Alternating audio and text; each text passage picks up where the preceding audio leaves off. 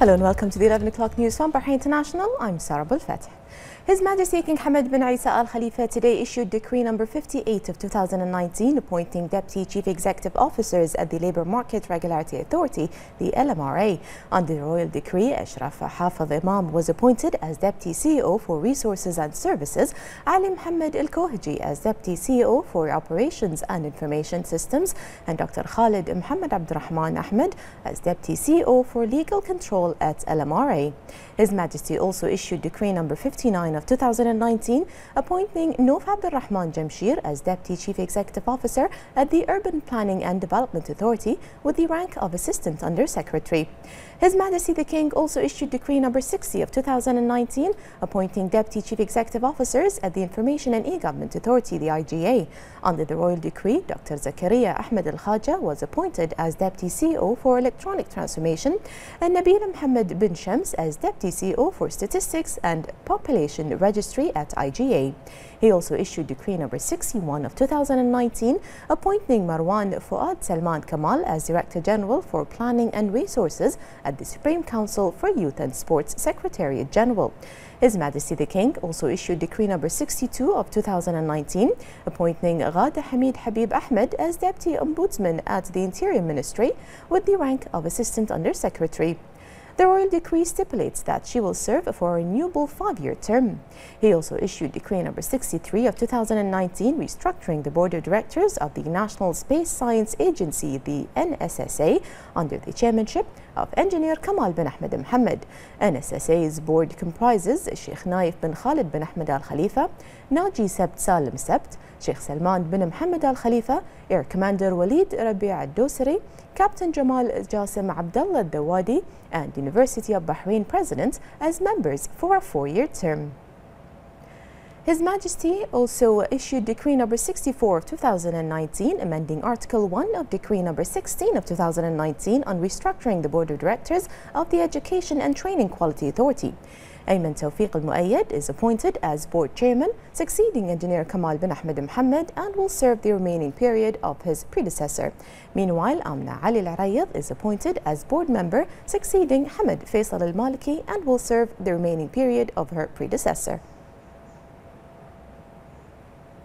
His Majesty King Hamad bin Isa Al Khalifa received at Sakhir Palace today the credentials of the newly appointed ambassadors of Morocco, Sri Lanka, UK, Mongolia, and Afghanistan. The Moroccan ambassador Mustafa bin Khayi arrived at Sakhir Palace. He was received by the head of royal protocol, and an official ceremony was held for the ambassador.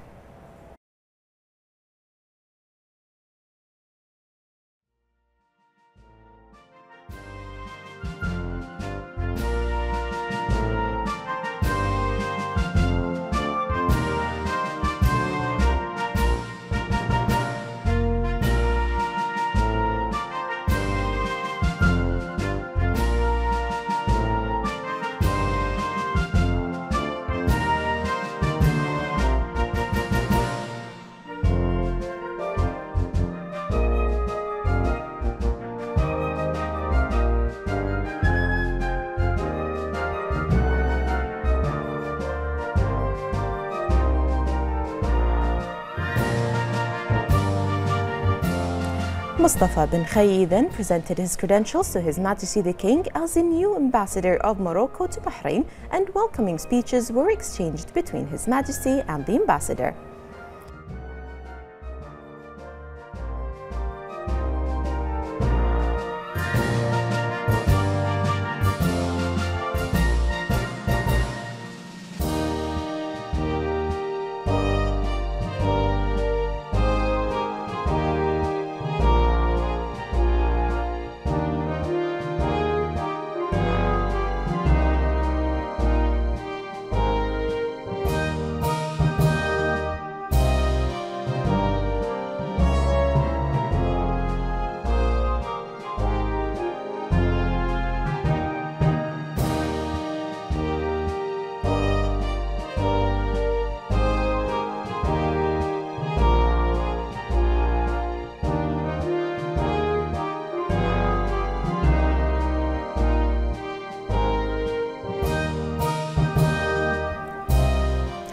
Later, the Sri Lankan ambassador Pradeep Prayagani Saram arrived at the palace. She was met by the head of royal protocol and an official ceremony was held for the ambassador.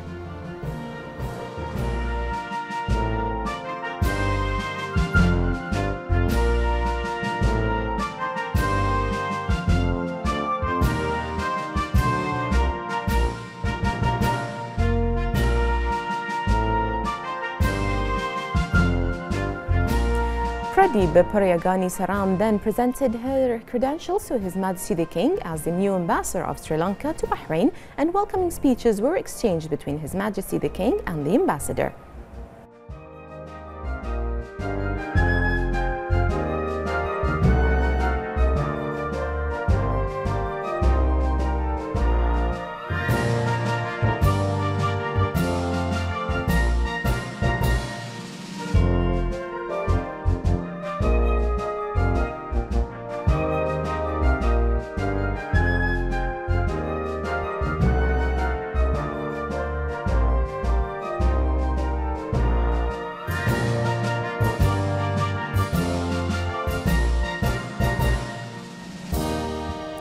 Later, the UK ambassador Roddy Drummond arrived at the palace. He was met by the head of royal protocol and an official ceremony was held for the ambassador.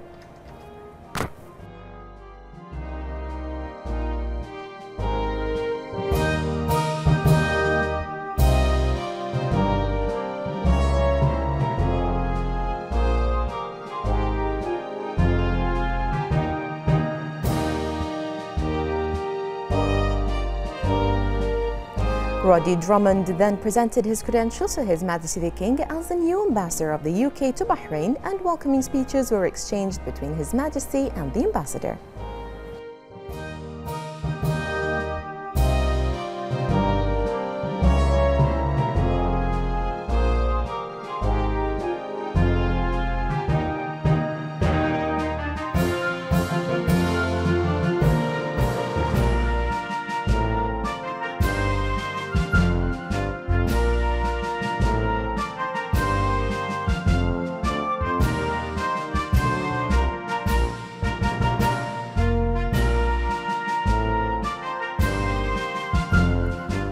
Later, the Mongolian ambassador Chintushing Zurich arrived at the palace. He was met by the head of the royal protocol and an official ceremony was held for the ambassador.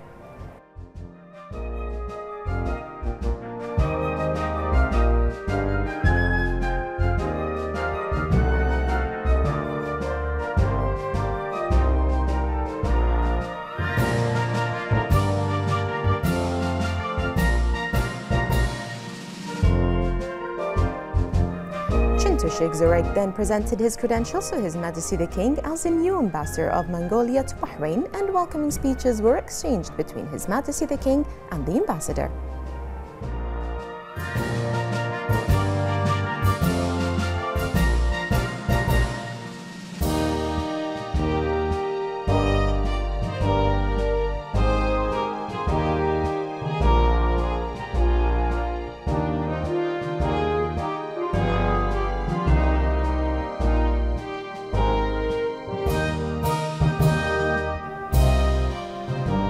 Later, the Afghan ambassador Sayyid Jalal Karim arrived at the palace. He was met by the head of royal protocol and an official ceremony was held for the ambassador.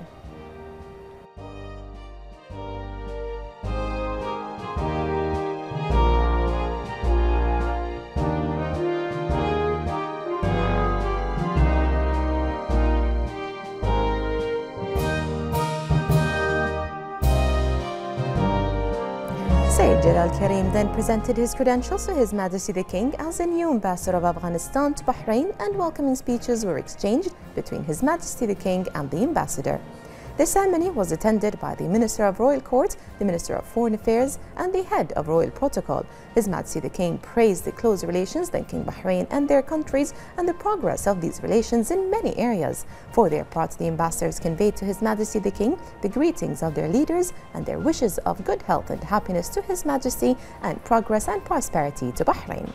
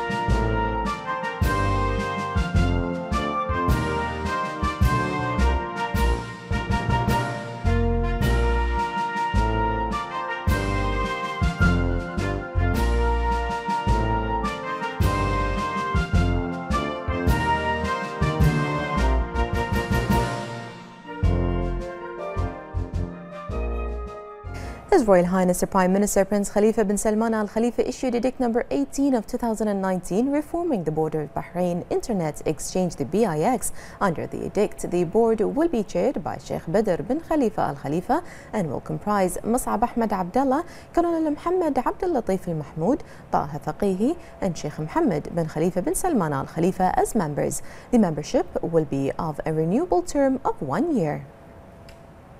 His Royal Highness the Prime Minister Prince Khalifa bin Salman Al Khalifa received today at the Gudaibiya Palace a number of royal family members and senior officials at the kingdom, where His Royal Highness directed concerned authorities to preserve heritage in various areas in the kingdom, affirming the government's keenness on developing old areas in line with citizens' needs and contributing to developing services. His Royal Highness asserted the importance of preserving Bahrain's heritage and its historical and archaeological sites and highlighting their value to become witness for the kingdom's heritage to future generations. His Royal Highness affirmed that preserving heritage is a duty and a necessity to maintain the national identity. He hailed the keenness of the people of Bahrain on adhering to their values and traditions, asserting that the development of the kingdom and its prosperity embodies their devotion to their country.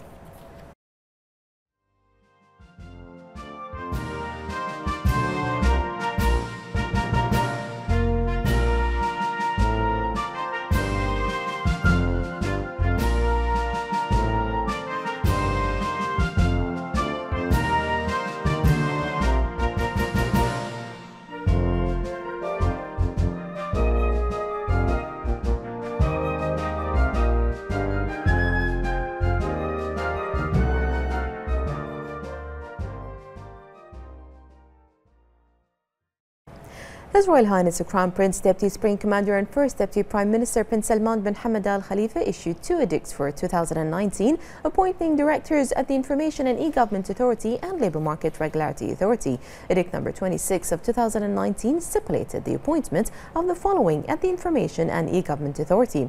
Ahmed Isa Abul Fath as Director of the Emergency Directorate, Sheikh Manar bint Abdullah bin Ali Al Khalifa, Director of Geographical Information Systems, Sheikh Sabah bin Hamad bin Abdullah Al Khalifa, Director of Identity and Population Registry, Hassan Mohammed Hassan Ali, Director of Wireless Licenses, Frequencies and Monitoring, Dr. Khalid Ahmed Al Mutawwa, Director of Governance and Enterprise Architecture, Abdullah Habib Mustafa Mohammed, Director of Government Systems Development, Hisham Ibrahim Al Hashmi, Director of Government Systems Support and Maintenance, Dunya Faisal Sarhan, Director of Change Management and Business Process Reengineering, Lulwa Sami Ibrahim, Director of Communications and Marketing, Rani Abdurrahman Al-Bainin, Director of Operations, Ali Muhammad Zayani, Director of Information Security Services, and Abdullah Ali Al-Jodar, Director of E-Service and Channel Development.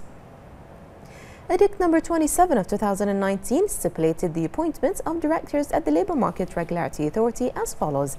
Sheikh Abdullah bin Abdul Rahman bin Abdullah Al Khalifa, Director of Policies and Market Information, Shireen Khalil Muhammad Al Saati, Director of Grievances and Protection, Hana Abdul Nabi Hassan Al Safar, Director of Communications, Ali Khalifa Ali bin Ali, Director of Human Resources, Ahmed Ibrahim Muhammad Al Jnain, Director of Preemptive Inspection, Imam Abdul Jalil Muhammad Shabib, Director of Employer Services, Mohammed Abdel Saleh Al Ahmedi, Director of Audit and Development, Sheikh Ali bin Mohammed bin Abdullah Al Khalifa, Director of Wage Protection, Hassan Jamal Abdul Rahim Al Rahma, Director of Licensing, Nidal Salman Al Bana, Director of Expatriate Services, Yahya Abdul Karim Mohammed Al Ali, Director of Application Processing, and Mohammed Ahmed Matar Al Basmait, Director of Legal Affairs.